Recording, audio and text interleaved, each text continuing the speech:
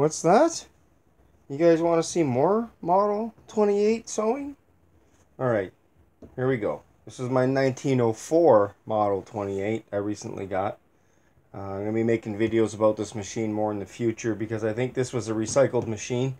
And I'll talk about that more in a future video. Um, if you've seen this the machine when I got it, it was missing this cover here. So I've taken these two covers off of a Model 28 that I uh, got with this machine but it was in rough shape, so I stripped the machine down for parts, and I used it to fix uh, a couple other machines. So one machine became a donor for a couple machines, so one to make a couple complete was well worth it. Anyways, I thought I'd show you guys this run of stitch right here. This is uh, all good to go to go now. So here we go.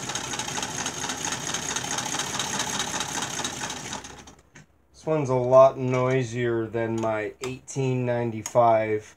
Um, that machine runs pretty quiet because it has the original bobbin. Now I do have the original bobbin with this machine, but for some reason it's grabbing a hold of the thread. But yeah, this thing sews just as well. Uh, the shuttle that I put in here is out of the 128, which was a 1936 model. And it works. It works fine. It's just a little bit noisier because there's a uh, little slight difference in the shuttles, but not enough that you can't use them. Um, on the other shuttle, there on this shuttle, I don't know if you can see it in this video. Let's see if I can get that here. Where is it? Right here. Anyways, there's a little notch right here. Um, and on the later models, that notch wasn't there.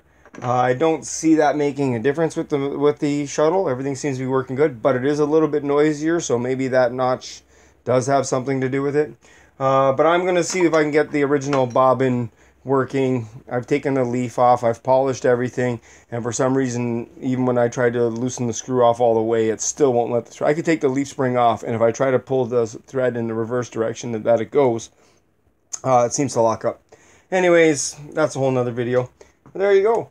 So that's the uh, 1904 that I got, and uh, it sews very well. It's got a it's got a good stitch as well. You can see that right there. It's nice.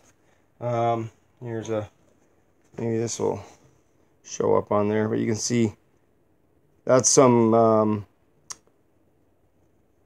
clothing grade vinyl there. Not a huge thick material, but it's so that beautiful. Nice and even. Look at those stitches. Like, come on. Talking over a hundred years old. Could you imagine if we made stuff like this still today?